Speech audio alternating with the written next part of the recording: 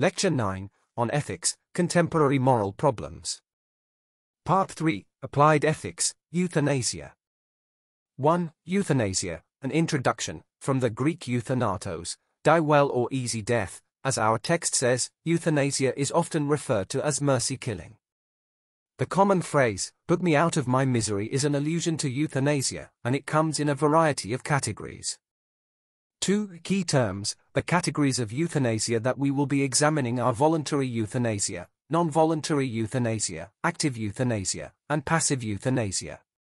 Voluntary euthanasia means that the person being killed is choosing to die. Non-voluntary means the decision is being made by someone else. Active euthanasia means to kill by intervention such as a lethal injection. Passive means to allow someone to die naturally, like switching off life support. In the following sections we will examine situations in which arguments for and against euthanasia may arise. 3. Case 1. Persistent vegetative states. A person is said to be in a persistent vegetative state when they are alive but have no signs of mental capability. A truly tragic picture of a person no longer able to consciously perceive, communicate, move on their own, and so on. Indeed, this is difficult to think about. Our text gives examples of people who suffered terrible accidents leaving them in persistent vegetative states, giving their families reason to pursue euthanasia on their behalf, that is, non-voluntary euthanasia. For Case 2, Incurable and Terminal Illness, another terrible case to consider is that of incurable illness. Unfortunately, we can easily imagine scenarios in which a person learns that they have an incurable illness and, as the illness progresses, the symptoms become more painful until life becomes unlivable. In such cases, people have requested euthanasia, that is, voluntary euthanasia. 5. Pro-euthanasia Argument 1. The first argument for euthanasia examined in our text is the so-called argument from quality of life. This argument would have us ask ourselves, at what point am I better off dead? From a hedonistic perspective, the incurable illness example we just discussed may constitute an instance in which euthanasia might be acceptable, since, through the hedonist ethical lens, happiness or pleasure are the qualities that constitute the good. If living becomes nothing but constant pain, then the hedonist might be committed to endorsing euthanasia. From an Aristotelian virtue ethics perspective, the persistent vegetative state example may warrant euthanasia since there is no possibility to nurture the rational and appetitive soul of the patient. Regarding the quality of life argument, when applied to cases of persistent vegetative states, Jonathan Glover argues, I have no way of refuting someone who holds that being alive, even though unconscious, is intrinsically valuable, valuable irrespective of the form of being alive. But it is a view that will seem unattractive to those of us who, in our own case, see a life of permanent coma as in no way preferable to death. From the subjective point of view, there is nothing to choose between the two. From this perspective, being dead or being in a persistently vegetative state are basically the same thing, and people who end up in this state are sometimes euthanized. In these cases, where euthanasia is deemed preferable, active euthanasia is usually considered more morally defensible than passive euthanasia. It may be more appealing to receive a lethal injection than for doctors to merely surrender a patient to a disease to let nature take its course, and thereby allowing for a far more painful and perhaps undignified death. 6. Pro-euthanasia, Argument 2, the second argument in favor of euthanasia, referred to in our text as the argument from resource use, is sometimes perceived to be lacking the same moral thrust enjoyed by the argument from quality of life. The examples in our text are quite disturbing, so I will not repeat them here, but the basic idea is that keeping someone alive in a persistent vegetative state or prolonged treatment for someone who would prefer euthanasia requires expensive resources and labor on behalf of medical professionals that could be allocated to more promising treatments for other patients or towards research to cure diseases that could save more lives. From a utilitarian perspective, using those resources to save more lives would be morally preferable, on their view, since it would provide a greater good, to a greater number of people. Indeed, through this moral lens, using these resources to prolong the life of someone in a persistently vegetative state would be morally impermissible when they could be used to help any number of other patients. 7. Pro-euthanasia, Argument 3. The third argument for the moral permissibility of euthanasia is thought to be the most fundamental and most powerful in applied ethics, namely, the argument from personal autonomy. We generally agree that people should be able to make decisions for themselves about how they want to live their lives and that we all have the proper authority to do so. It is argued that this authority over our lives extends to our right to die if that's what we choose. According to our text, John Stuart Mill is among the most famous proponents of this view. Recall from Chapter 2, Mill endorsed the so-called harm principle. A principle which states, the only legitimate government interference in a person's life is to prevent that person from causing harm to others. According to this view, unless somehow a person's death would cause harm to others, euthanasia in the cases we've discussed, namely persistent vegetative states and painful, incurable illnesses, is morally permissible. Or as Peter Singer articulates it, the principle of respect for autonomy tells us to allow rational agents to live their own lives according to their own autonomous decisions, free from coercion or interference, but if rational agents should autonomously choose to die, then respect for autonomy will lead us to assist them to do as they choose.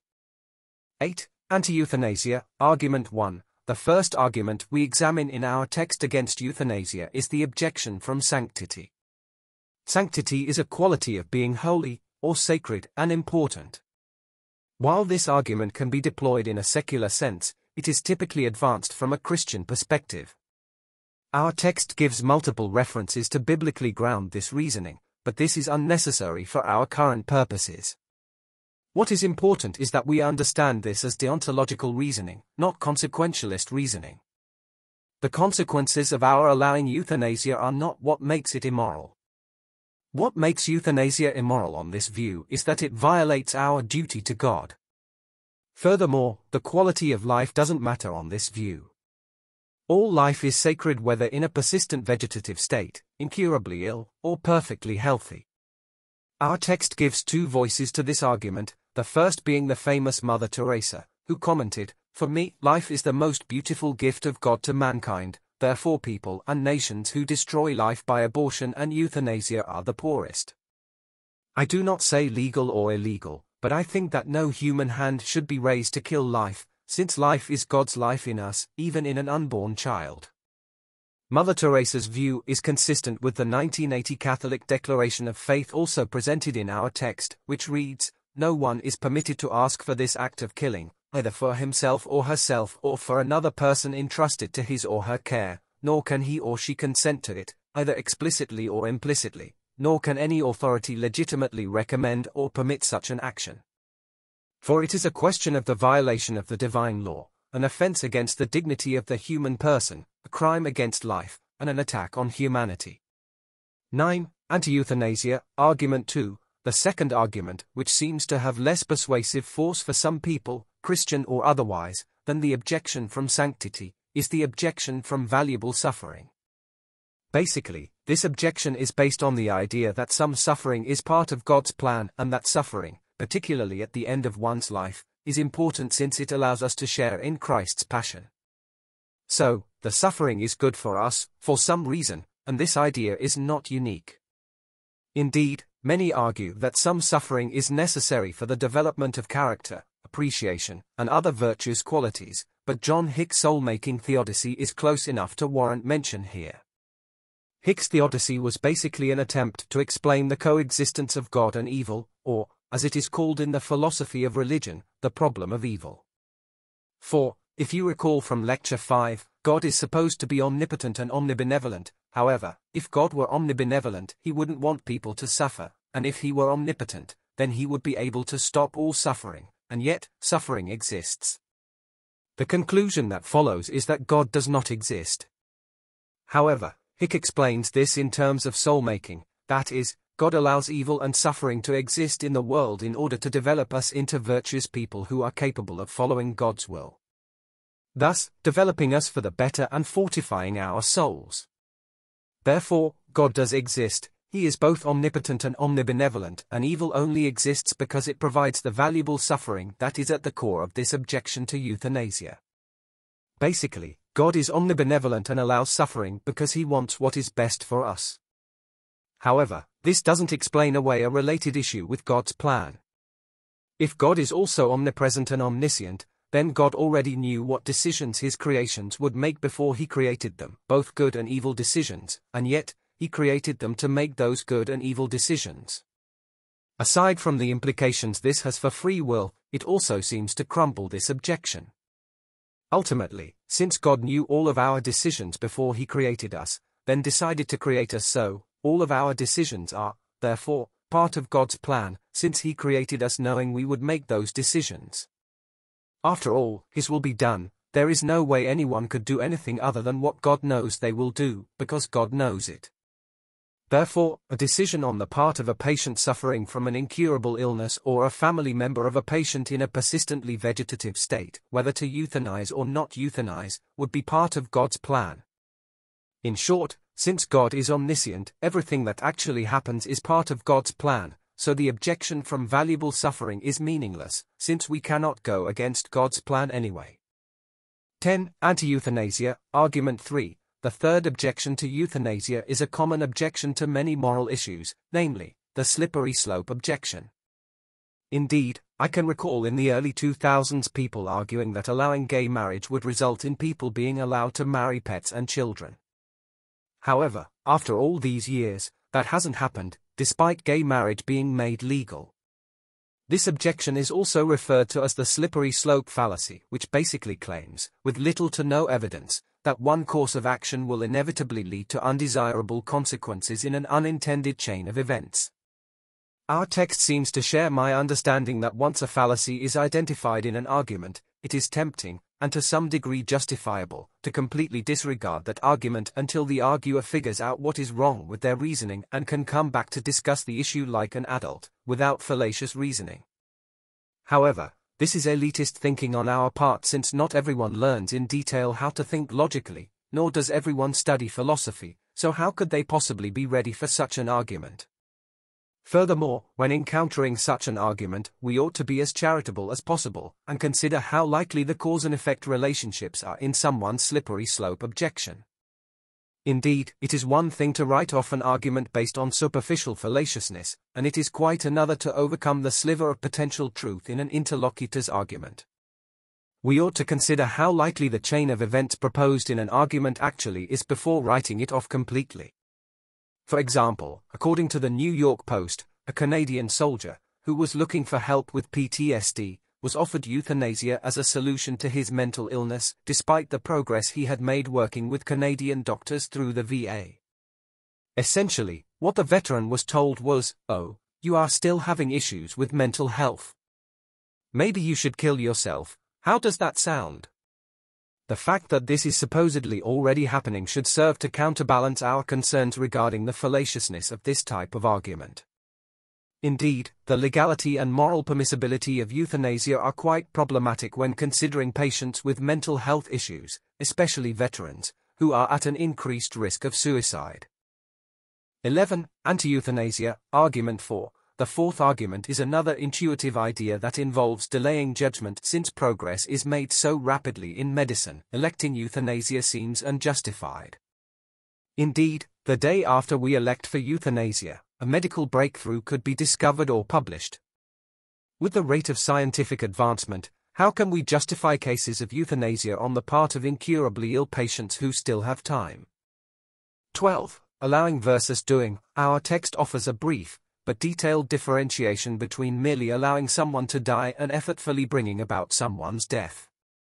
James Rachels sums up the supposed moral importance of the distinction between allowing and doing in the euthanasia debate. Rachels explains, the distinction between active and passive euthanasia is thought to be crucial for medical ethics. The idea is that it is permissible, at least in some cases, to withhold treatment and allow a patient to die, but it is never permissible to take any direct action designed to kill the patient. This doctrine seems to be accepted by most doctors. As discussed earlier, merely leaving someone to die naturally appears abominable, but what I think our authors have in mind here is allowing someone to die while treating their pain and other symptoms as best as possible while they remain. Even though theorists who view this issue through a Christian ethical lens may be opposed to all forms of euthanasia by default, the doctrine of double effect, which you should recall from Chapter 4, Lecture 5, keeps them in the debate. In cases of euthanasia, where primary precepts seem to conflict, namely, prevent suffering and preserve and protect life, Aquinas might appeal to his doctrine of double effect. Let's work through the doctrine using a euthanasia case. Killing someone would seem to go against the natural law to protect and preserve life. However, Aquinas might have us consider the act itself and the motivation, the internal act. Though one should not compromise someone else's life, if the act's motivation is to protect someone from undue suffering, then it may be morally permissible. This is due to Aquinas' doctrine of double effect which states that an act that violates a primary precept can be morally acceptable if it also meets the following four criteria.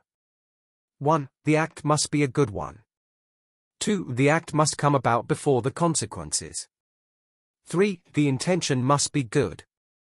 4. The reasons must be serious. We can see that principle 1 is met because preventing suffering is a good act. The second principle is met because the harm that the passively euthanized patient received occurred after the doctors treated the pain or symptoms. Principle 3 is met because the intention was to prevent suffering. Finally, the fourth principle is met because cases of incurable illness are very serious. However, not everyone buys this line of reasoning. Both Rachels and Singer have little time for the distinction between allowing and doing, and the doctrine of double effect, in this debate.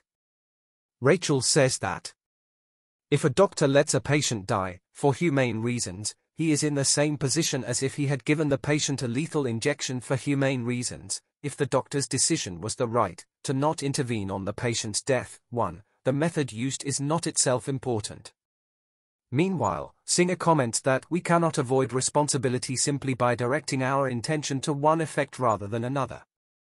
If we foresee both effects, we must take responsibility for the foreseen effects of what we do. This reasoning is also controversial, however, if we consider a brief thought experiment, imagine a doctor conducting triage and assigning patients to other doctors for treatment. One doctor is assigned a terminally ill patient who is also reportedly requesting euthanasia. The doctor foresees the possible effects and wants no part in it. So, the doctor passes the case off to another doctor, who ultimately makes the decisions that lead to reducing the patient's pain but not extending life. It's not clear, on Singer's view whether or not the first doctor avoids responsibility for the patient's death, even though the first doctor didn't participate in the patient's treatment, which would be counterintuitive. 13. Summary As our text sums it up, euthanasia is an applied moral topic that has profound implications. Successful moral arguments may lead to legislative changes that quite literally shorten or extend lifespans. There are a host of subtleties in the debate to which we can only pay lip service, such as the acceptability of active euthanasia of depressed patients, the importance of pre-injury requests for treatment or for death, the best way of allocating medical resources, the powers of people over both their bodies and the bodies of incapacitated family members. Further issues are discussed in works such as that by J. David Velleman, and we suggest the references linked below as a guide to useful and inquiring texts. However, we hope that you now feel confident to explain and evaluate the key arguments both in favor and against the various methods of euthanasia and the various contexts in which those methods may be employed. 14. Questions and tasks. Our text asks 12 interesting questions in the issues to consider section. However, as usual, please answer the following questions before next time. 1. What makes a life worth living? Is a life ever without value? 2. Should the doctrine of double effect be ethically relevant? Is there a moral difference between allowing and doing? 3. If euthanasia is morally acceptable, should passive euthanasia ever be viewed as an acceptable method? 4. Should a depressed patient ever be allowed euthanasia? Is personal autonomy something we must always respect? If not, when should it not be respected? Before we conclude, let us examine some possible views on euthanasia side by side. If we examine euthanasia through a Kantian ethical lens, we must first ask ourselves does the statement we should always provide euthanasia to terminally ill patients sound like a universally applicable maxim? Does providing euthanasia treat people as ends in themselves? For Kant, the answer is likely no. Kant's conception of suicide, namely, killing yourself out of self-love to avoid future pain, is too similar to providing euthanasia to a terminally ill patient to avoid future pain. If you recall from Lecture 3, Kant saw killing oneself out of self-love as contradictory, and therefore, could not be an imperative. What is less clear, on this view, is whether euthanasia for persistently vegetative state cases would also be immoral. Since Kant grounds morality in reason does that mean that patients in persistently vegetative states have a moral standing reduced to that of animals or less? Can they no longer be treated as ends in themselves? These are unclear but it does seem as though, through the Kantian lens, euthanasia would be immoral. As discussed briefly earlier, from a utilitarian perspective, if the patient's death doesn't cause anyone else any harm, then ending their pain by ending their life would be a moral course of action. As discussed earlier, since the resources used to sustain a patient in a persistent vegetative state could be used to help others, euthanasia may provide the greatest good for the greatest number of people also. Moving on to the Aristotelian lens, recall that this view looks inward at ourselves rather than at individual actions. The moral permissibility of euthanasia depends, therefore, on the virtue from which the doctor or patient acts. Furthermore, that virtue would be a mean between the vices of excess and defect. Perhaps we could say the doctor was temperate or conscientious in deciding to euthanize the patient because they were in great pain and had no hope for a cure. If the doctor had not euthanized the patient out of indifference, a defect vice, then the doctor would be vicious. The doctor would also be vicious if they did not euthanize in order to ensure that the patient died slowly and painfully out of wrath or malice, an excess vice. Similarly, if the patient requested euthanasia out of wisdom and courage, knowing that the inevitable suffering would be gratuitous and that death is not to be feared, then perhaps the patient would also be virtuous. If the euthanasia were sought out of cowardice, however, then the act would be vicious. Furthermore, if the patient neglected all advice from medical professionals and elected for passive euthanasia and suffered a gratuitously painful death, this would be rash and thus vicious also.